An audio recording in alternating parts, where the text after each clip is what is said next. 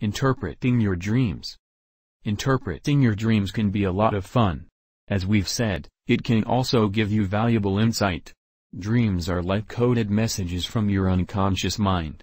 When you decode them, you gain access to a wealth of intuitive wisdom. Remember that only you can interpret your dreams. Many people have published dream dictionaries that describe what each part of the dream symbolizes. Actually, the same dream can have infinite meanings, depending on the person who dreamed it.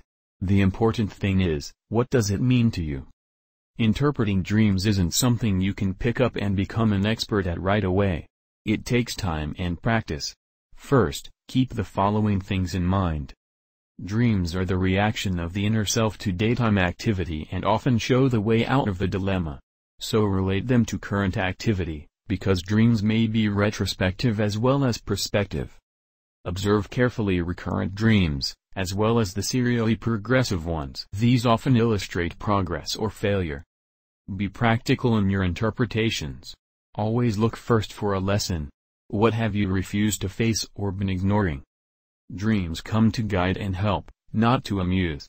They direct your attention to errors of omission and commission and offer encouragement for right endeavors. They also give us the opportunity to pray for others and to help them bear their burdens.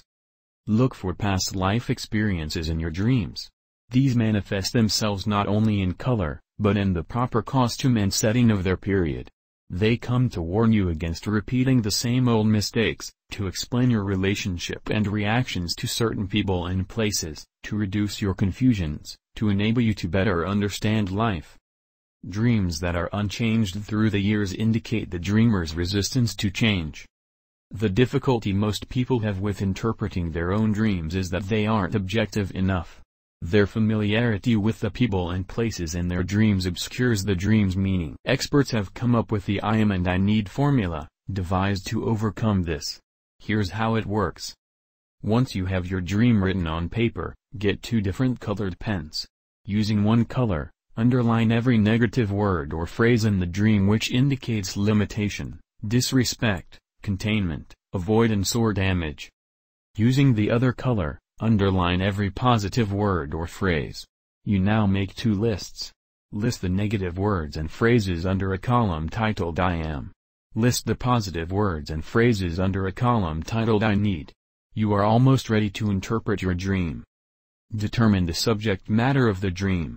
The location where the dream takes place is one of the best methods for doing this. When you have determined the subject matter take each of the phrases or words in the I am column and fit them into the following sentence.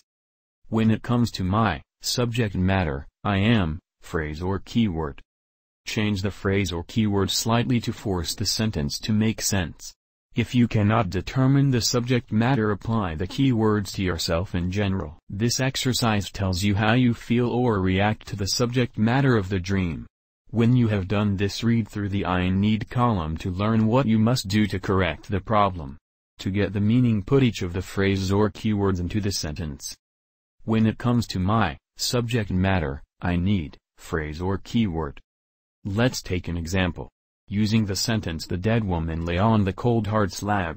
The negative keywords are dead, cold and hard. Women, in dreams, can represent emotions so in this case the sentences constructed would be When it comes to my emotions I am dead. When it comes to my emotions I am cold. When it comes to my emotions I am hard. The meaning is obvious. With analyzing just one sentence from a dream we have learned a lot about the dreamer.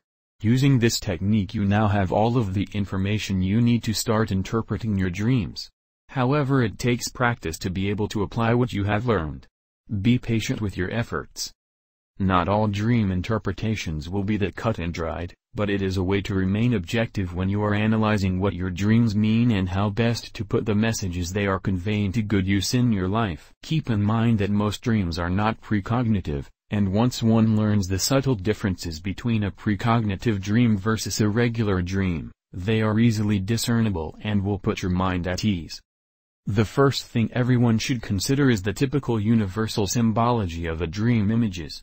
For instance, death symbolizes the end of something that's ready for change, and a new beginning. Most people start out highly resistive to changes of any sort, and see any upcoming change in their life as something foreboding and scary. Death dreams are usually about change. The symbols and what they represent is the most fascinating part of dream interpretation. There are literally hundreds of them. We don't have the space to address all of them, but we will touch on some of the most recurring themes and dreams as well as the symbols of those dreams and what they mean.